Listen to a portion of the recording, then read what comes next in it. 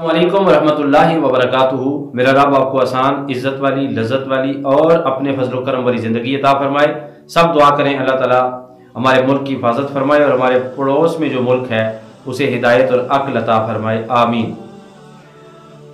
عمران خان نے Indian pilot کو واپس کر کے آقا حضور رحمت عالم صلی اللہ علیہ وآلہ وسلم کی بڑی خوبصورت سنت ادا کی ہے۔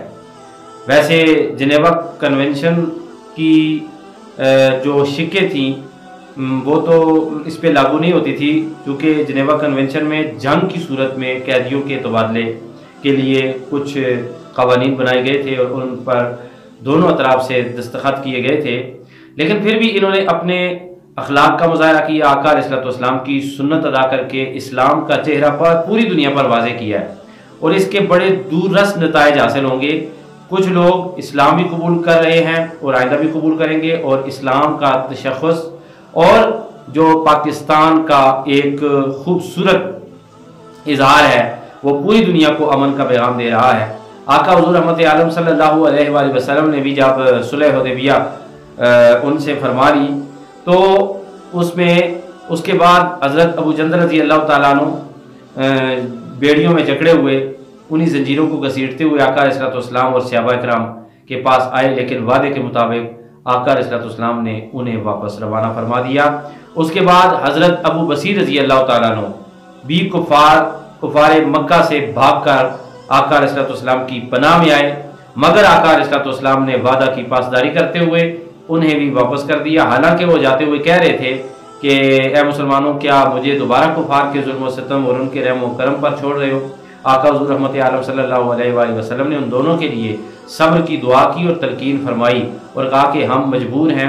ہم نے جو وعدہ کیا ہے، جو معاہدہ کیا ہے، ہم اس کی روح سے آپ کو واپس کرنے کے پابند ہے اس لیے کہ یہ طے پایا تھا کہ کوئی بندہ کفار میں مسلمان ہو کر اگر مدینہ میں مسلمانوں کے پاس آئے گا تو یہ پابند ہوں گے اس کو واپس کرنے کے۔ مگر کوئی بندہ اگر مسلمانوں میں مرتد ہو کر کفار میں جائے گا تو وہ اسے واپس کرنے کے پابند نہیں ہوں گے۔ صلح حدیبیہ بظاہر طور پر مسلمانوں کے خلاف تھا۔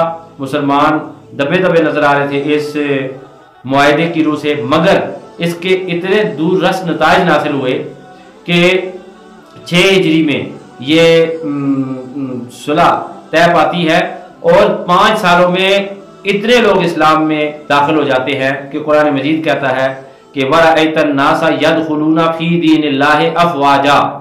کہ اب دین میں آپ دیکھ رہے ہیں کہ فوج در فوج داخل ہو رہی ہے۔ لوگ اسلام کے اخلاق سے متاثر ہوئے، وعدوں کی پاسداری سے متاثر ہوئے۔ لوگ آقا علیہ السلام کے رویے سے متاثر ہوئے۔ اور پھر اس معاہدے کے بعد قبائل کے قبائل مسلمان ہوئے۔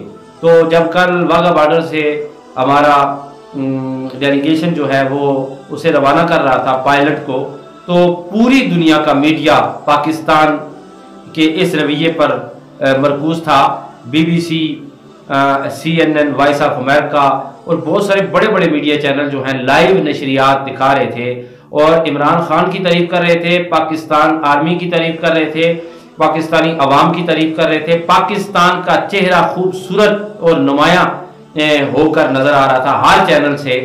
تو میں یہ سمجھتا ہوں کہ، اور یہ بھی خبر ہے سوشل میڈیا پر، سچی خبر ہے کہ عمران خان اور مسلمانوں کی طرف سے اس اچھے رویے پر کہ پائلٹ کو صحیح سلامت واپس کیا جا رہا ہے، تو یہ اسلام کی حقانیت ہے اور اسلام کا اخلاق اور اسلام کی اقدار ہے۔ تو کئی ہندو خاندانوں نے مسلمان ہونے کا اعلان کر دیا ہے اور وہ مسلمان بھی ہو گئے ہیں کہ ہم ہندو تہذیب میں غیر منصفانہ نظام میں رہ کر پستے چلے جا رہے ہیں، لیکن اسلام تو بڑا خوبصورت مذہب ہے جو اپنے دشمنوں کے ساتھ بھی بہادری سے پیش آتا ہے۔